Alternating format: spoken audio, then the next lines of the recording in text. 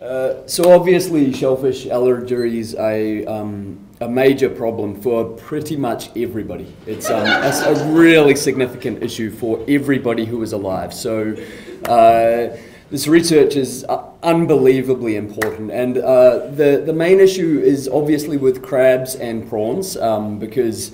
That's, that's the main thing that we um, want to eat. They're delicious, and e- every person who is aller- allergic to shellfish also has this overwhelming drive to eat crabs and prawns. It's, it's like drug addiction, only far, far worse. Uh, it persists into adulthood, um, so it's not just for kids. People who are adults have the same impulse control problems, probably worse than kids um, with crabs and shellfish. Uh, and there is no cure. It's, it's really sad um, 100% mortality rate. Every adult in the world will die eventually of a shellfish allergy. Um, usually misdiagnosed at aut- autopsy for some reason, but um, that's, that's what our research is showing.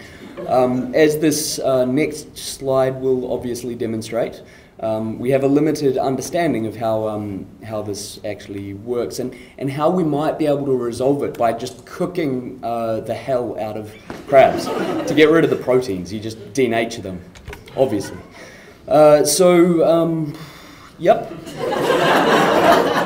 this, this is the process of uh, cooking crabs to, um, to get rid of the allergic response. You can uh, you can cook them to the point that the protein will sensitize and actually become uh, quite human-like. Um, so, so to begin with, um, you cook the, the gut of the, the crab. You can see up here, and, and when you do that, um, is, is this a pointer? This thing here? Oh, cool, it is. Yep. So when you uh, you cook the, the gut of the crab, it releases the allergens with this um, MDEL. And MDEL, in fact, you might not know, but it is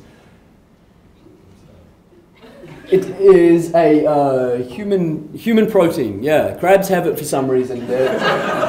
we we um we you know how Neanderthals and Homo sapiens might have intermixed. Well, well, crabs were in there somewhere.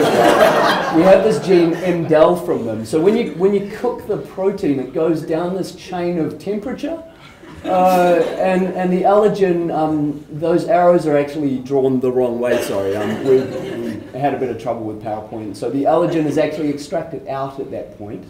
Uh, and by the end, it's extracted out further over here, um, resulting in uh, just this protein here, TH2, which is totally um, fine for humans to eat. Um, yeah, so this is a, a gene breakdown of uh, crabs once you've cooked them. Um, you can see there's raw banana in, in prawn down here.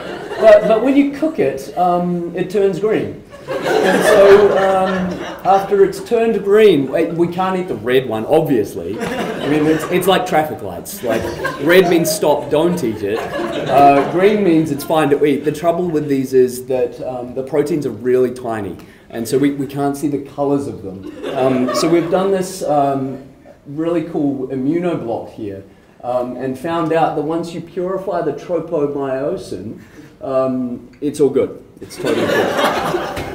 Uh, so in conclusion, cooked extracts show higher IgE reactivity than raw extracts.